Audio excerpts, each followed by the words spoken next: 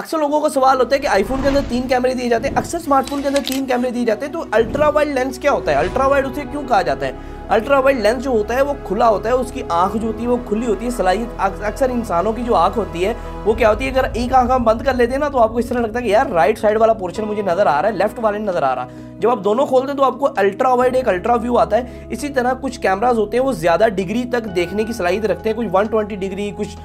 one eighty degree कुछ 360 पूरा camera देखने की सलाहित रखते हैं तो उन्हें अल्ट्रा वाइड कैमराज कहा जाता है जो अल्ट्रा वाइड कैमरा नॉर्मली चल रहे हैं आईफोन के अंदर वो नॉर्मल कैमरा से जो कि वन एक्स होता है वहाँ से हाफ होते हैं मतलब कि जीरो पॉइंट फाइव या जीरो पॉइंट सिक्स रेशियो के अंदर होते हैं वो ज़्यादा व्यू कम रेंज के अंदर कैप्चर कर सकते हैं इस वजह से उन्हें अल्ट्रा वाइड लेंजेज कहा जाता है